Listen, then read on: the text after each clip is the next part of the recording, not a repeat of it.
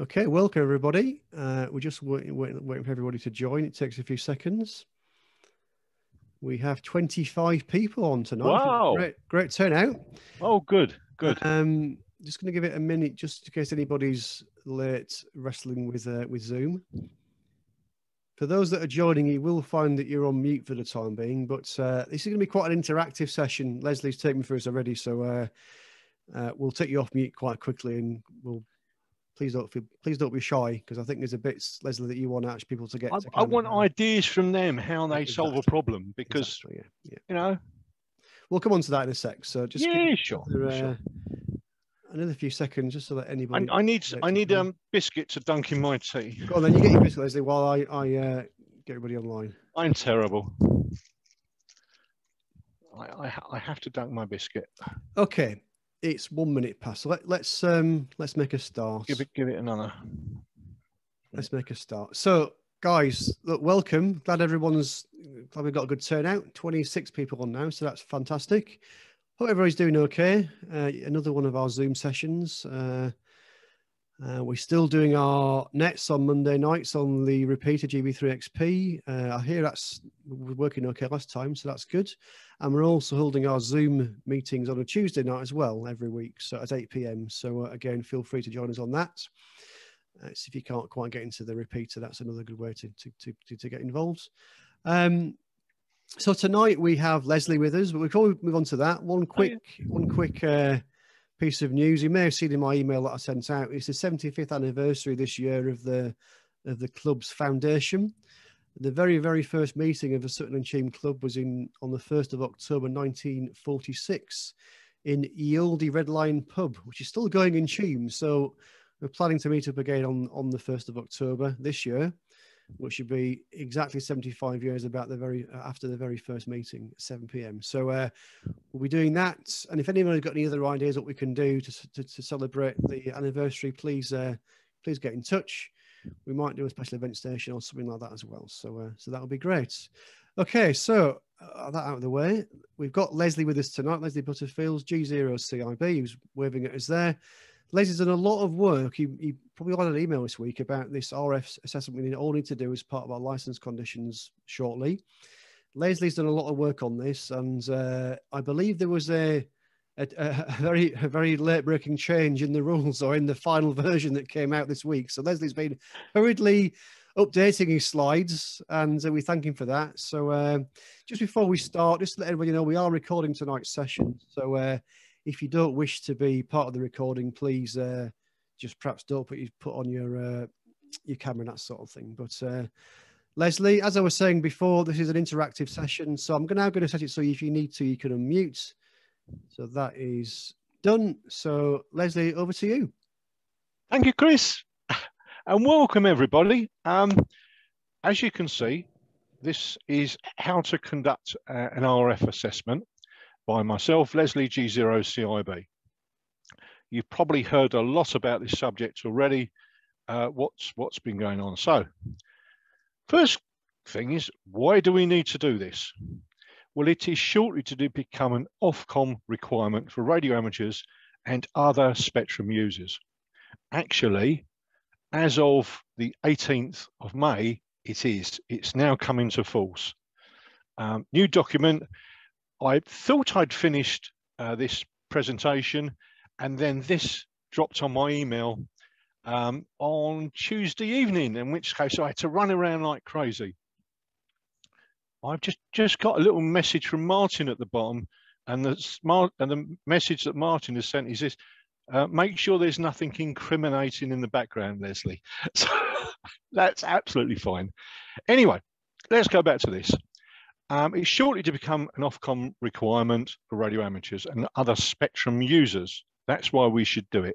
But what has been the response so far? We're doomed. We're doomed. Well, exactly. And if, yeah, I see a few smiles there. And you've got to really look at some of the responses on the internet, and I just, I just want to cringe. So, what we're going to do is try and go through this as sensibly as we can. Um, and I've tried to update this, um, put this together so that people can try and understand what's going on. We're not doomed at all. And, and the reason is, the answer is no. The subject has been around in the hobby for at least 50 years. That's a fact, with extensive research and basic principles already well established. I just let that sink in for a moment because that's absolutely true. Many countries already have a formal requirement for an RF assessment for radio amateurs, and others have a far, far stricter regime in place. The UK, well, in the UK, it is within the terms of our present license, and there's a bit on page 21. However, there was no documented assessment required. And this is the bit that's really changing. It's all about documentation of your assessment. Let me put it another way, the holiday's over. So let's look at a, a basic radio system. Now I've simplified this as much as I could. Uh, let's um, let's have a pointer option. What would I like? Oh, laser, yeah. Yeah, that's a good one. Okay, so we, we have, um, can everyone see my, my laser pointer there? Yes? Yes. Okay, so we have a, a simple transmitter, let's call it a HF uh, transmitter. And we have some cable loss, as we always do and we have some antenna gain and we have the signal coming out. So we have a transmitter output power. We have our cable loss. Now, radio amateurs really need to know about their cable loss. Yeah, we need to know the type, the length. Um, don't worry, don't worry. I'm not going to go into log tables. And I remember those many years ago. My teacher at school inflicted it upon us as a poor child. Um, all I would say is there is a fantastic website called M5BXB, and all you have to do is put what type of cable in and what what length it is, and it comes up with the losses. So you don't need to work that out. Um, you need to know your antenna gain, and you need to know your conversion factors from effective radiated power to EIRP. Now, again, I've put a good website on a link to do that, but I wouldn't worry about that too much. This is just for general, general information at the moment. Now, if it's less, if that calculation is less than 10 watts EIRP, no assessment is required. Basically, go and have a beer. Job done. That's it. Let's look at the next scenario. Now, I have to say, I've picked two scenarios there's actually a, a few different scenarios within the new document. So it's a case of seeing this document. You need to look at which scenario applies to you. So bearing in mind, I've just picked two. Next one, however, this station is 400 watts EIRP. Now I know straight away that an assessment is required. I don't even have to look at it. I know an assessment's required. And this was an example that Ofcom gave, and it basically said that we are allowed to take into account the duty factor of the equipment. You know that as the mode factor. You know, whether you're using FM, SSB, AM, there's a mode factor. And there's a transmit receive duty factor. In other words, the amount of time you talk against the time you receive. Um, when the equip where the equipment is not used continuously, it's not a broadcast station, you know, it's on, off, on, off. And the example they gave was 400 watts EIRP, uh, 400 watts EIRP times 50% times 50% is 100 watts. Everyone, everyone nod if they got that so far. Okay, good. Now, using the Ofcom spreadsheet, I'm just going to Ofcom spreadsheet. That gives a separation distance of 3.19 meters. Where did we get that from? Now, we do need a separation distance of greater than that. That's what you know, we need a separation distance of greater than 3.19 meters. And I've got to emphasize this is an important thing. So let's go on to the next bit. This and where I got it from is this is downloaded from Ofcom. I've put 100 watts EIRP in there. 145 megahertz in there. And this is my answer here. This is downloaded from the Ofcom website. Now, one thing I should point out is, is it's upwards from, it's 10 megs upwards. It is not below 10 megs is in, is in progress. That's not done yet. So I know there's people work seven megs and, and 80 meters and all that stuff. Please hold your horses on that. I know it's in progress. Okay.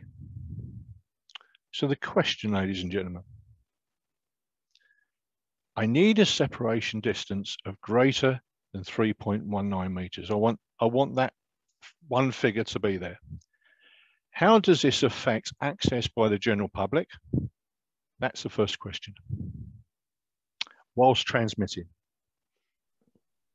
And are there any practical solutions? Chris, can you unmute everyone, please? And I'd just like to see what people think on how to solve so this. People can unmute themselves if they want to uh, comment. They should be able to anyway. Just let me double check that. Yes, people can unmute themselves. So, guys, anybody want to give any suggestions to Leslie as to how we could do that? Put the antenna four meters up in the air. yes, absolutely. No. Yes. Um, that would be one of my top ones straight away. You know, on this, uh, what's the program? Um, yeah, where you've got so many choices come up. That's the top. Okay, so I've got height of the antenna. Anybody else? Martin, you got any suggestions?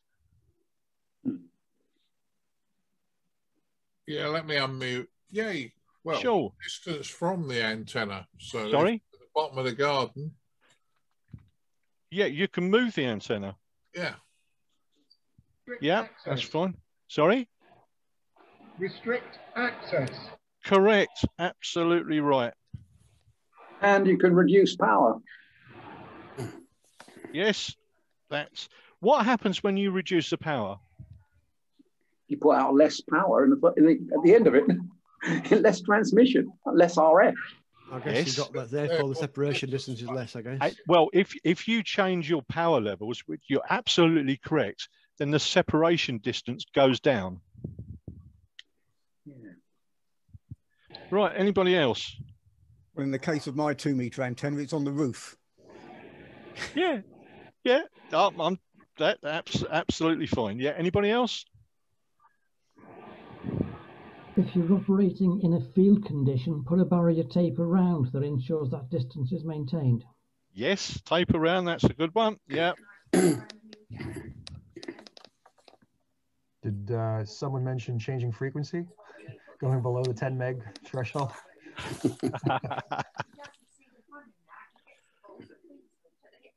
just just coming back on the comment that the antenna was uh, up on the roof yeah. That doesn't necessarily maintain the distance if somebody's in the bedrooms. No. No, but you don't transmit. When... You are you are you are absolutely correct on that one. Mm. Um, what it is is you don't. Um, I'll, I'll I will just show you something.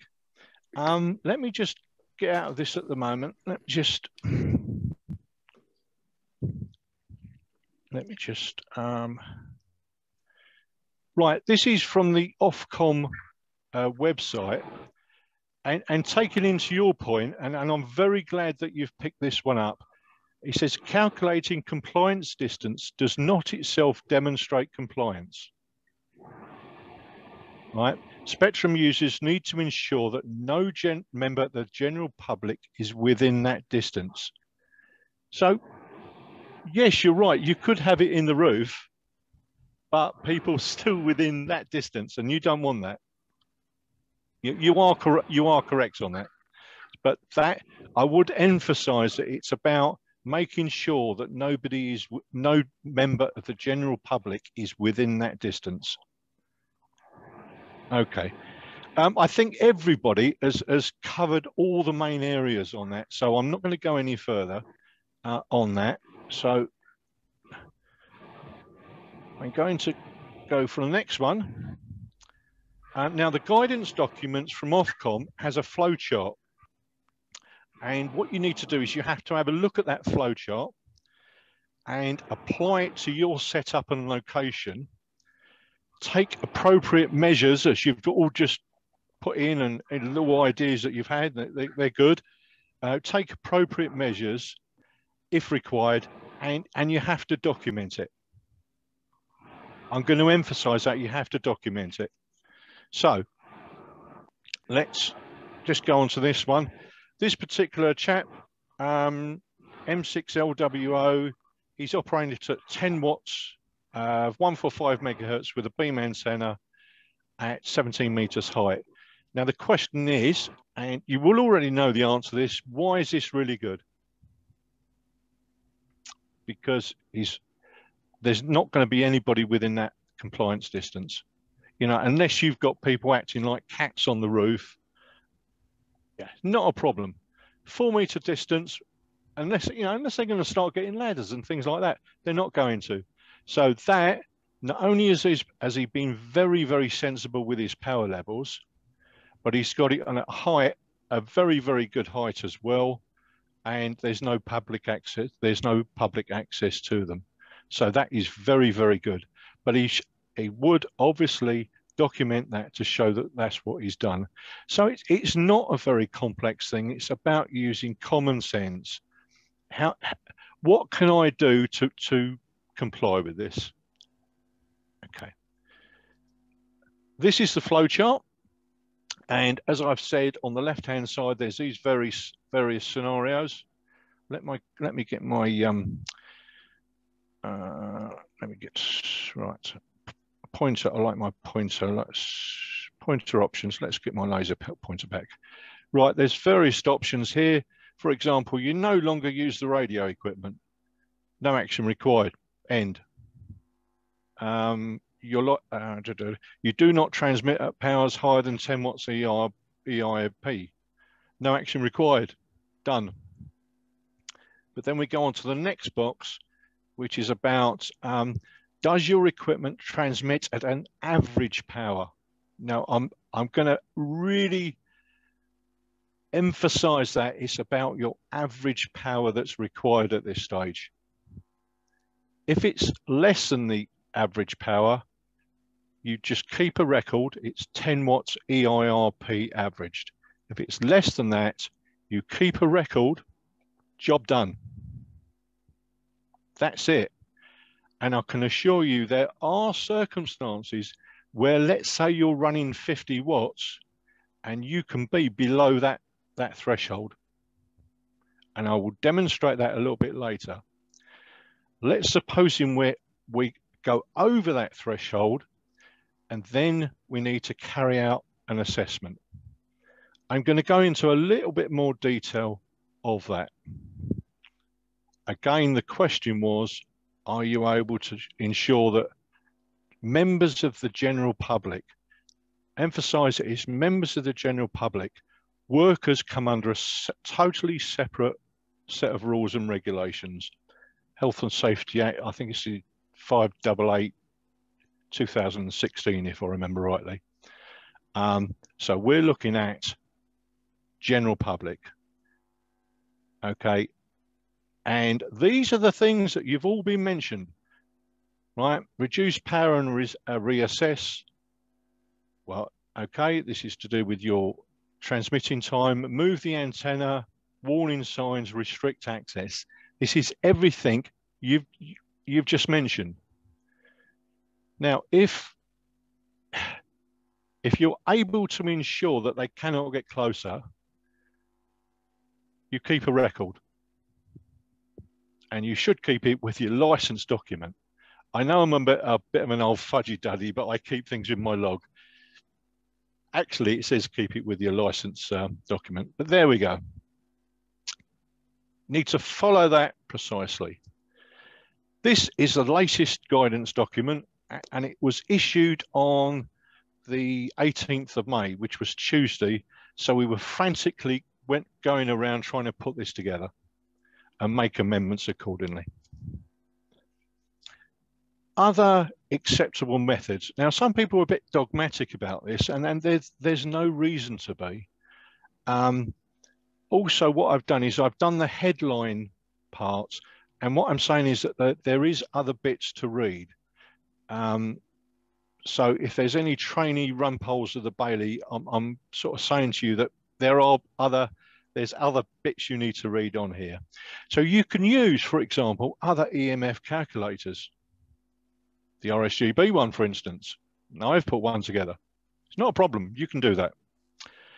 Um, you can follow the manufacturer's instructions, and I'm, I'm going to get a wry smile when I come onto that one.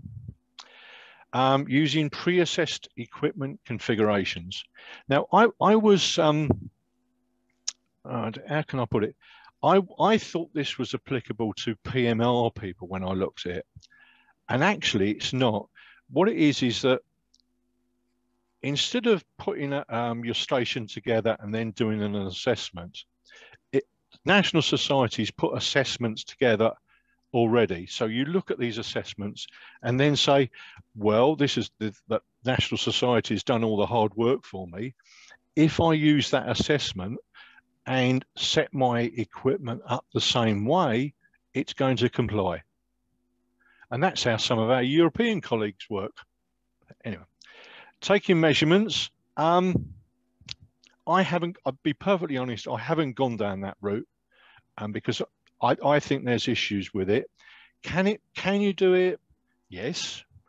Do I think there's technical issues? Yes. Um, but like I said, my own take on it is I've not I've not gone gone down that route.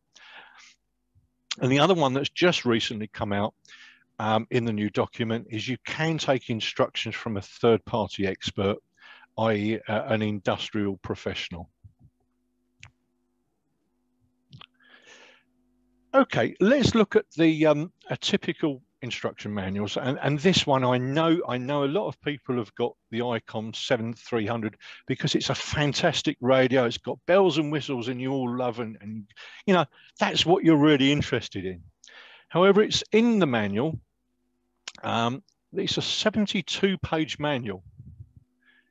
Um, and the guidance for installation guidance is actually on page 71 so the question I sort of say is, well, how many people actually get to read it? I see it's got a few smiles already. So anyway, inside that um, manual, there's a thing called the OET six bulletin number 65, which is August 1997. Now it's very American based. Um, however, the, the principles within that book are still, they're still very good. They're, it's in the process of being updated. Um, but the principles, some of the principles in there are in, in the new Ofcom document. You know, exactly the same. Anyway, sorry, not exactly the same. Should we say the same principles? Um, anyway, guidance within the manual. See the installation notes. And this is within the ICOM 7300 manual. Um, it talks about the OET 65, which you've mentioned, and it talks about clearances. What are clearances? Separation distances. Um, so let's say, let's say we're running 100 watts. So our vertical clearance, according to this, would be five meters. Okay. I personally, my own personal view, is where I got a figure is a lower say it's two meters there, I would put a line through that and choose five meters because I know I can't be wrong. It, it's safer doing it that way. Anyway, um, going back up, again, surprise, surprise, it talks about um, our duty cycles, our transmission duty cycles, uh, and our mode duty cycles. Similarly, types of SSB, CW, AM have a lower average output very, very important. My own homebrew spreadsheet. I've, I've been working on this. This is one I've been working on. And if you look, frequency, watts, cable, cable loss factors, antenna gain factors, mode duty factors, transmit receive duty factors, and importantly, mast height. Bearing in mind that two main factors for this are that are within your control you know, is power, how much power you're running, and the height of your mast. So if you've got a low antenna, you, you really do need to, if you've got a lower antenna, you really do need to, to low that power right down. You know, d- don't run high power low because that's, and I'm going, I'm going to show you why in a moment. So let me just come out of this. Let me just come out of this and show you exactly what I mean. Right, so this is my one. This this is what I've been working on, and their frequency input. So I'm going to put a, a power of 400 watts. Everyone see that? Or do you want me to increase the size? Okay, 400 watts. Okay, there, uh, Leslie. Yeah. Right. Okay, cable loss, uh, antenna gain factor. I'm going to keep all those the same, and I'm going to I'm going to put it at half a meter on the ground. It's horrible. Don't do this. And I'll go to go to my results tab. Bush. Yeah, tells me straight away, and I know that's a 28 volt limit. So what I need to do is I need to increase that. And at 400 watts, my results, yes, that's right. That shows the importance of height in the calculation.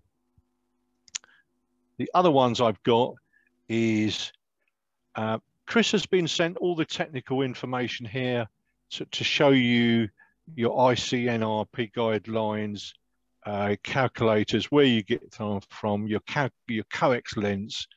Um, th that's all there and has been sent to Chris. So if you really, really want a technical minefield, feel free. So what, So- what, I'll do, Leslie, I'll send out your links and your spreadsheets, everything you sent me out to all the guys on the call after the call. Once- Once we've Yeah. got the video done, I'll send it all out to you in one go, so everyone's got everything.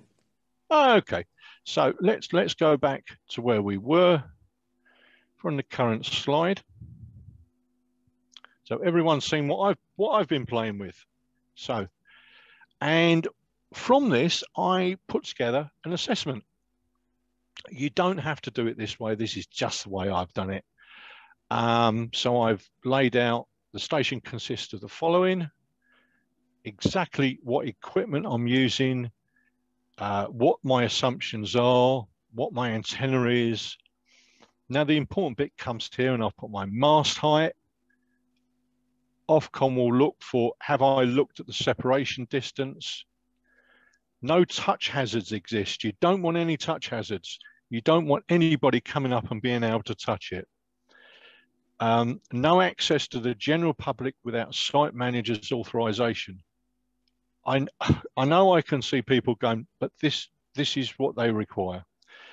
Okay, what you do to yourself doesn't matter, but you've you've got to. It's all about look, looking after the general public, and and I've also calculated an averaged value for this, and at 10 meters, I calculated approximately the field strength at 2.4 volts per meter. Can anybody guess what the limit is? It's 28 volts. So I've, I've shown not only have I, I done what they've asked for in terms of looking at the separation distance, um, in terms of how we look at general public access, but I've also made sure that our, my limits are- are way, way down. So I'm just going to take that back uh, from the current slide. Now, looking at all that information, I know I've, I know I've overloaded people a little bit, but what we come down to is this one from the RSGB, and I've just got to mention Dr. John Rogers M0JAV from the RSGB EMC committee, because I think they've done, I think uh, they've done a fantastic job on this. Um, insert the basic information as shown. So your name, call sign, radio, model, date of assessment, etc. Select from the drop-down menus. Okay, now I'm, I'm actually going to go through this. Then you take appropriate practical measures, like we mentioned before. What practical measures do I, I need to take? You print it this off and you file it. Job done. Have a beer. yeah. Um, and everything we've we've been speaking about has really come down to this one page, and you can actually see where they're coming from. There's the transmitter. There's the there's the mode factors we've been talking about. There's the transmit ratio, uh, transmit receive ratio.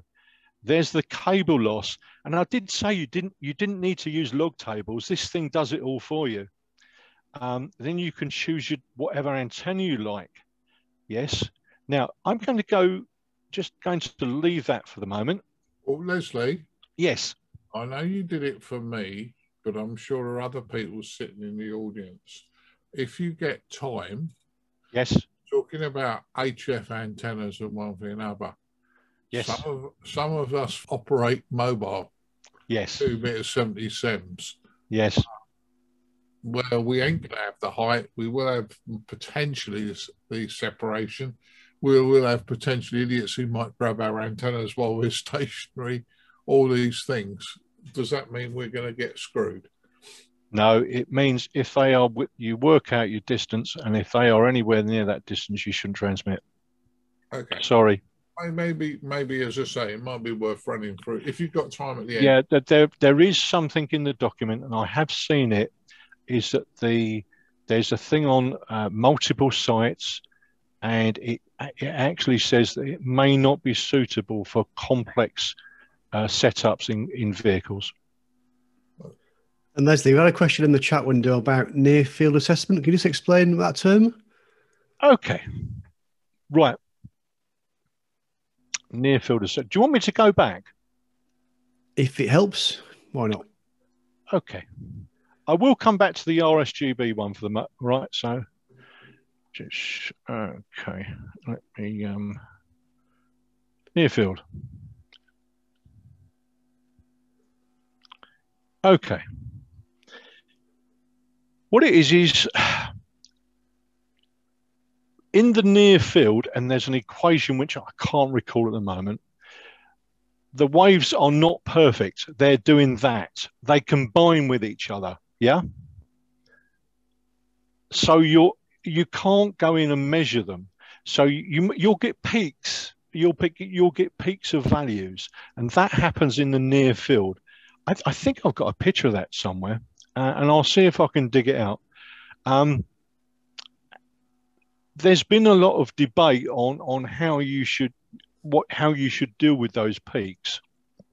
Now, if you look in ICNIRP 20, 2020, table five, note four and five, there's a note, and that note says for frequencies 1.9 to 30 megahertz, near field far field distinctions are deemed to comply as values calculated as values calculated do not exceed reference values. Yeah. So that is what is I have I have used to get around that particular issue. So it means that if it's in a if it's in the amateur HF bands, then essentially it's it's compliant. It, it's it's values. If it's within tho- those values in the table, you're fine. But that's in ICNIRP 2020. Now there's there's um, should we say inconsistencies between those two? There's 1998 there's 1998 and 2020, and there's inconsistencies between those two documents. And that's one of the inconsistencies. Does that make sense? I think it does to me. Yeah. Yeah. Now I will just see. I will come back. I will. I will see if I can get a diagram on near field for you, because I am sure that I do have one. So where were we? Where were we? Oh yeah, we we were in the RSGB one. So let's um okay, can everybody see that? Yeah? Yeah. Okay, so we, we've filled out all our data. Um, we've put 50 watts in. So I'll, I'll just sort of change it so you can see. Um, see, I can change. Yeah. So I want this for this particular example for SSB. I'm running 50 watts power. And because I'm running 50 watts, it's the it gives me a mode factor of 20%. I've used I'm using a duty cycle of 50%. I'm going to give you a really big hint on choosing your duty cycles because it does affect the outcome. Cable loss, you can choose your cable whatever you want. Yeah, Westflex. Don't need to use tables, it's all there. Um, and you can choose. I can't quite get into the menu on this one, um, but you can choose uh, your different type of antenna. Now, one thing that people need need to look at is it says that on this particular example that your average EIRP is 6.7 watts. Surprise, surprise, it comes up at compliant. So you all you have to do is print this off. Done, job done. So you're running 50 watts, but your average EIRP is below the 10 watts average. That's very, very important on this. So if you start running 100 watts, ah, okay. Now we now go down to the bottom and it also gives us our compliances distances as well it also sort of says the thing I mentioned earlier about a minimum separation of two, minute, two meters to minimize uh, touch risk. I did say that was important. Um, and, it, and it shows you the, the Ofcom distance, compliance distance here. It's, it's not, if, if you went through this on a Friday night, right, I could go through it with, with a cup of coffee with you. And you'll go through it the first time take about 10 15 minutes. Once you know how to do this and i thorough, thoroughly recommend just playing with the values seeing what you can do. Um, you know what happens when i change this? Because you can't do any damage to it. Just play about with it and, and see what your results are uh, like I said, any queries, please contact m0jav at rsgb.org.uk and I'm sure he, he will be delighted.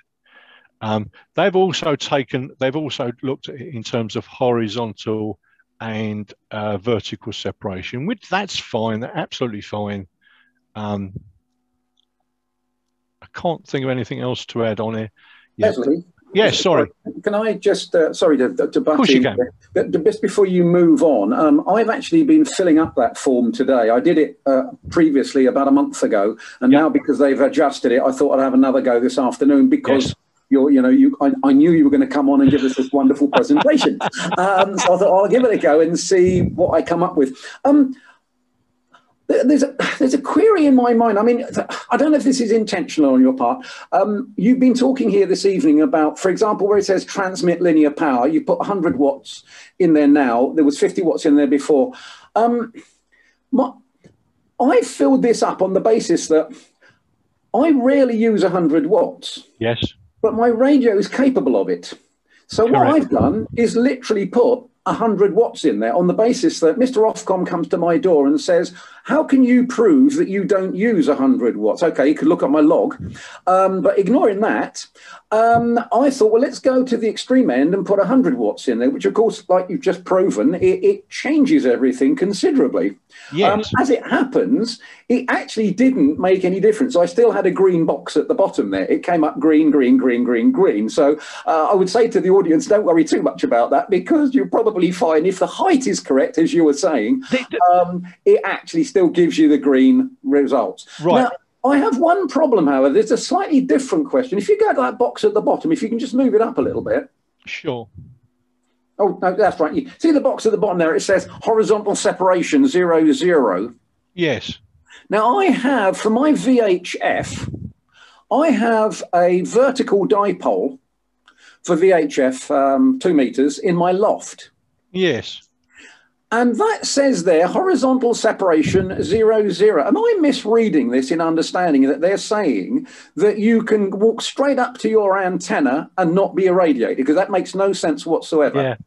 Um, Um, especially on the basis that if you take, you've got up the top there, you've got half wave. If you put in vertical uh, antenna in there, vertical dipole, uh, and correct me if I'm wrong here, which I might well be, but a vertical dipole surely sends out uh, the uh, radiation in a horizontal direction. Ver- verticals verticals are an issue. Right. Okay. Ah, I've hit an. Okay. So I've hit a point here because I was thinking I could go up into my loft, or my wife could, because we store things up there, and I could be transmitting. I'd know if she was up there. In fairness, but she could be standing right next to that antenna, and it says there horizontal zero, and there's no way No, that that's when, going to no, be when, correct. when you when you click to it, it, it, this little box comes up. Ah, right. Okay. Right, but you are right. Vertical antennas are an issue. Ah. All right. Okay. Okay, I would emphasise that because of the, the changes in the, in this new document, that there will be changes in the spreadsheets.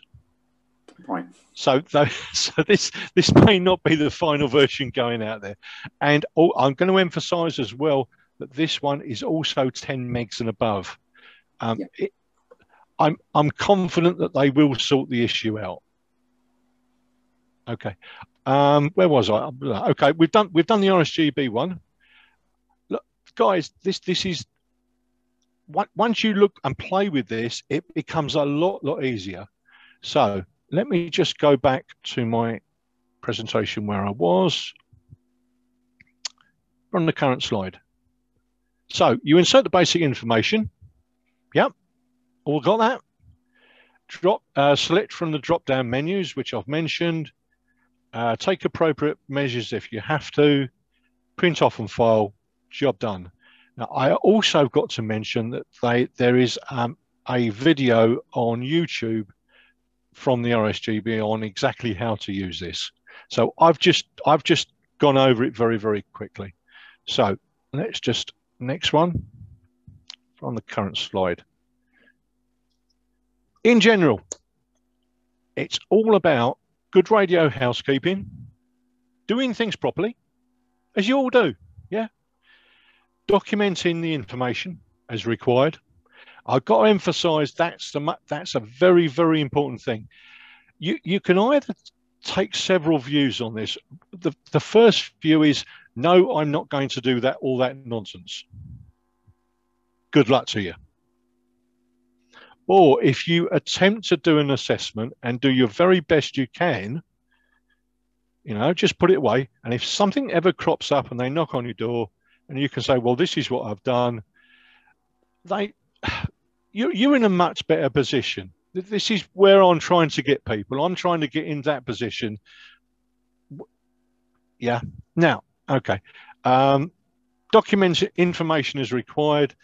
And, impo- and importantly, diplomacy with the neighbours will go a long way to keeping Ofcom happy. Now, the last thing, just to make sure that everything has sunk in, which I'm, I'm, I hope it has. I hope it has.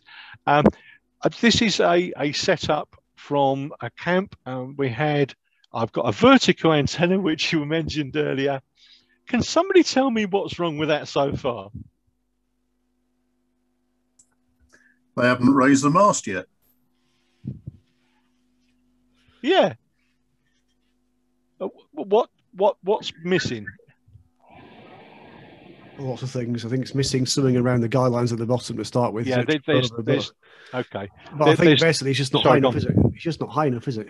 Well, first of all, you, somebody can come up and touch it. Yeah. That's the obvious one. Yeah.